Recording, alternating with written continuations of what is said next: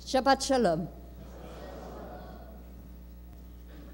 What has happened to the Torah?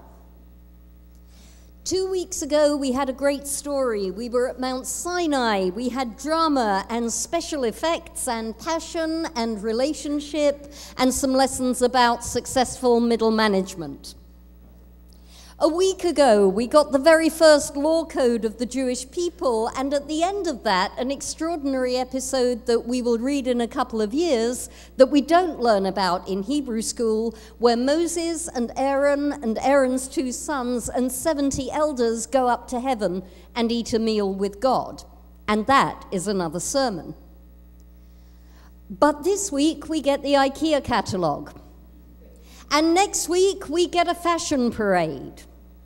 And if that wasn't enough, all of those instructions are going to be repeated and repeated until the Mishkan, the desert tabernacle, is built.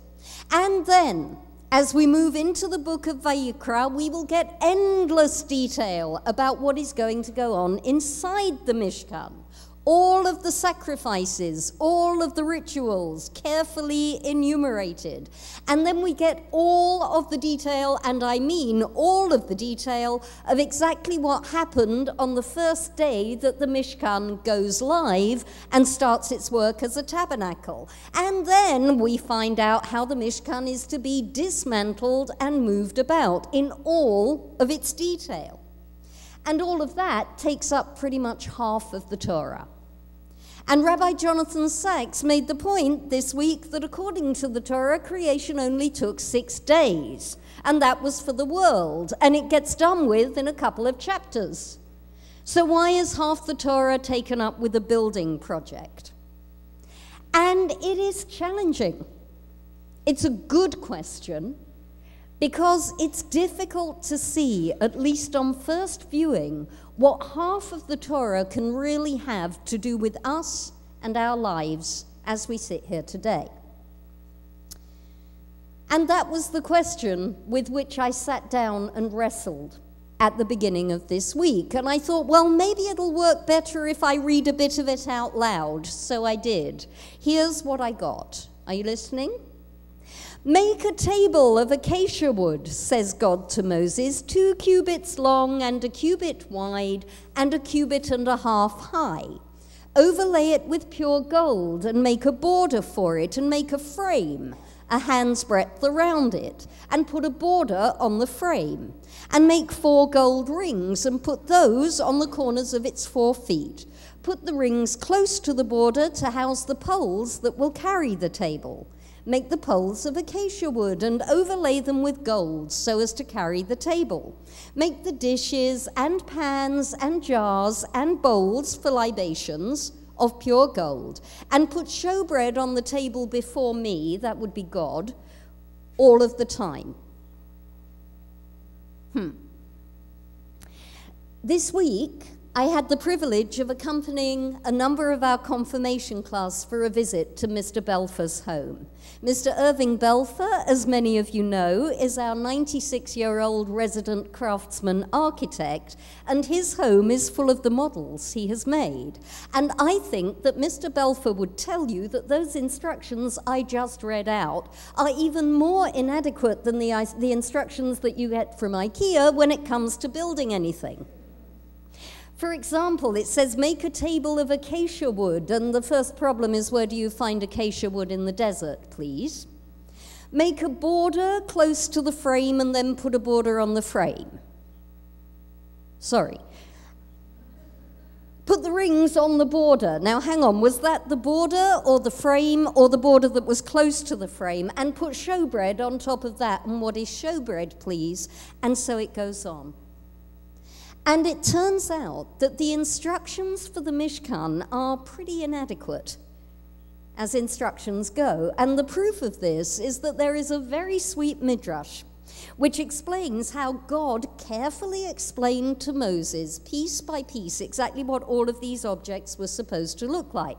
But that was while Moses was on the top of Mount Sinai. And by the time Moses had got down to the bottom of Mount Sinai, he'd forgotten what it was supposed to look like, so he had to go up and get it all over again, and so on. And it's no wonder, and anybody in this room who has tried to assemble a piece of IKEA furniture will understand what I'm talking about. I'm going to be giving three sermons about these episodes. The building project, the initial building project, stretches, in fact, over five whole Torah portions. And I get this week's sermon and also next week, and then one two weeks after that. And with your permission, I would like to take up the challenge that the Torah seems to be throwing down. With your permission, I want to try and go a little bit deeper into these texts and see if, with a bit of careful attention, we can't get a little bit more out of them because I want to suggest that there is an intention behind all of this, and a shape, and a design. And despite appearances, the Torah hasn't suddenly started to tell us, uh, start, uh, started to decide to stop telling us stories about people and have a go at a bit of interior design instead. And in order to do that, we first need to look at some more things that don't make sense about these episodes. Now, we already established that this is not a set of instructions. I think we have to give the Torah the benefit of the doubt on this, assume that it would know how to give us better instructions if that was all that this was about. But there are more layers of ambiguity when it comes to this project that takes up the whole of the middle of the story. And one of those ambiguities relates to the flow of time, because up until now, the Torah runs pretty much chronologically. We begin at the beginning, the world gets created, time goes by, we get Noah, time goes by, we get Abraham, quite a lot more time goes by. Eventually, we come out to Moses, we get the Exodus, and so on and so forth. And all the way until we arrive at Sinai, we, we trot along pretty much chronologically. But immediately after Sinai, time starts to get messed up. At the end of last week's portion, Moses is told, Come up to God. And, and it becomes clear that somehow he got down off Mount Sinai because he's got to go up again. He builds an altar down below and then he goes up again for that meal that I just told you about. And then he stays up, but there are two narratives of what he does when he's up there. One of them talks about being up there for seven days, one of them talks about him being up there, it's more familiar to us, for 40 days and 40 nights. And we get a similar kind of fuzz and a similar kind of time muddle when he comes down again. And the fact that this week and next week's Torah Torah portion sit in the Torah before the episode of the golden calf is not comfortable, and our commentators have written screeds about that, trying to sort it out. And what it appears to be is that the Torah has gone into flashback mode, or, or maybe it's gone into split screen so that we can follow two narratives at once, or maybe it's a little of both, but either way, it's complicated and it's ambiguous and we haven't seen the Torah do it before. And I want to point out that this playing with time only happens when we're in the vicinity of the Mishkan. As soon as the Mishkan gets taken to pieces and packed up, time begins to march forward again, and it carries right on marching forward until the end of the Torah. So there's an ambiguity about the Mishkan when it comes to time. There's a second ambiguity when it comes to place or space, depending on what you want to call it. The large scale is, is represented really by there's an inherent tension in the Mishkan. This is supposed to be a place for God. But up until now in the Torah, it has been pretty clear that God is not confined by place. God does not obey the normal rules of place and space and time. So the challenge is how can a single place contain God? And on a less grand scale, you've got space paradoxes. This is a building which is supposed to contain God. So, to that extent, it's fixed, but it's also a building that's got to be dismantled. So, it's not really a building. It's a kind of tent, only it's not. It has to stay still, and at the same time, it has to always be capable of moving.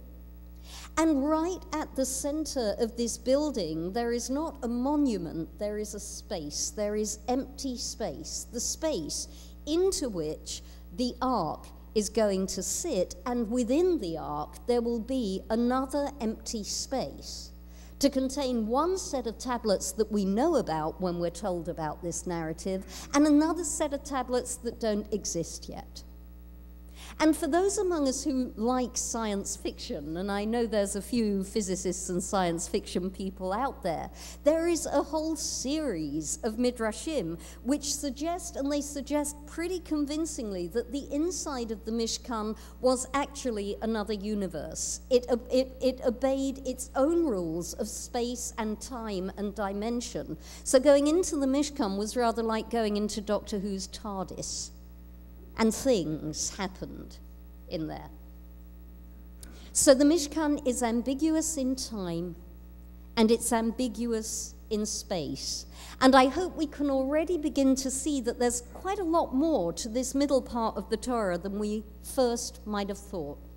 We're not going to be able to read it literally. We're not going to be able to read it as if it were a piece of narrative, because it's not. It's something else. We can't read it chronologically. It doesn't make sense in terms of physics. It's very tricky to read it even theologically. And therefore, if we have to believe, and I want us to believe, that the Torah hasn't just run off the rails, it must be about something else, mustn't it? And I want to offer us, I want to use the rest of this talk just to lay the ground as to a few ideas of what this middle part of the Torah might be about. And the first idea is that we've moved from narrative language into the language of symbols. A symbol, I looked up a definition, is something that represents something else by association, resemblance, or convention, especially a material object that is used to represent something invisible.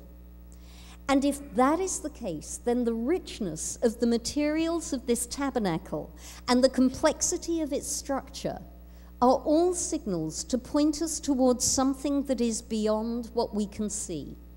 And our early rabbis were very conscious of this. And so you'll find, for example, that all through the language of the Mishkan's construction are verbal echoes of the narrative of the creation of the world, over and over again, pretty much in the right order as well.